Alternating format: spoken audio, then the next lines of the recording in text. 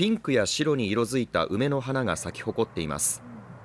春はツツジ初夏にはアジサイが咲き乱れ花の寺として親しまれる宇治市の三室戸寺今はしだれ梅が見頃となっています。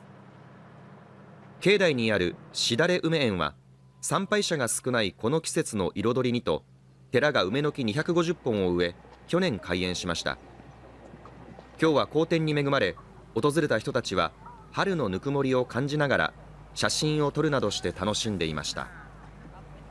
綺麗やった。何色が好きやった？ピンク。宇治の景色が見えるのでねちょっと高台にあるのでそれもあの非常にいいところやなと思います。